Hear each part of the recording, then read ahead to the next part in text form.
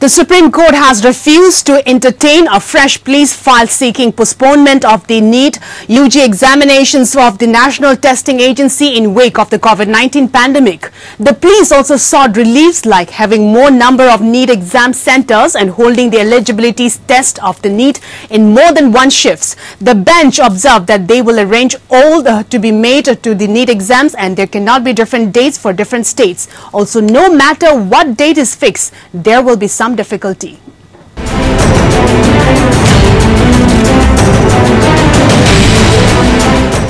A three-judge bench of the Supreme Court has dismissed fresh pleas urging the court to reconsider the conduct of the medical entrance exam NEET on September 13, 2020 in view of the rising cases of the COVID-19 and constraints faced by students amid lockdown restrictions.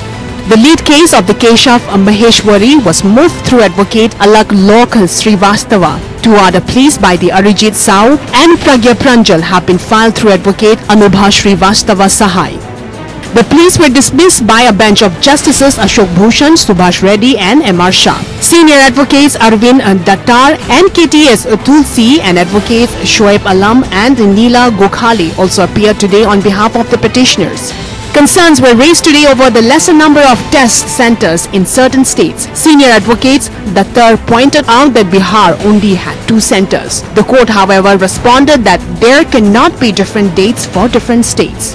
Whereas Dattar urged for the exam to be postponed by three weeks, the court remarked that a review plea in the matter also have been dismissed. Senior advocate Tulsi pointed out that the country is at a stage where 90,000 cases of COVID-19 are being reported daily. He also urged the top court to consider the Bombay High Court recent directions to ensure that students who are unable to appear for an entrance exam on account of the pandemic be appropriately considered. The court said that these are matters for the testing agency to examine and not for the court to pass directions on. Advocate Alam argued that the guidelines and SOPs issued for the conduct of the exam have certain lacunae. The court, however, observed that the concerned authorities will take all necessary precautions for the safety of the students.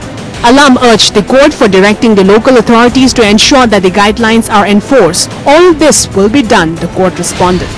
Alam, however, pressed further for directions from the court on their specs, pointing out that a slight nudge from your lordship will go a long way at a time when there is a cap on large gatherings and there is a hundred of students who have to go out to take the exams. Whereas Advocate Gokhale had also sought to make submissions on the matter, the court cut short her arguments and intimated that it is not inclined to entertain the pleas. The petitions were thereafter dismissed. Bureau Report.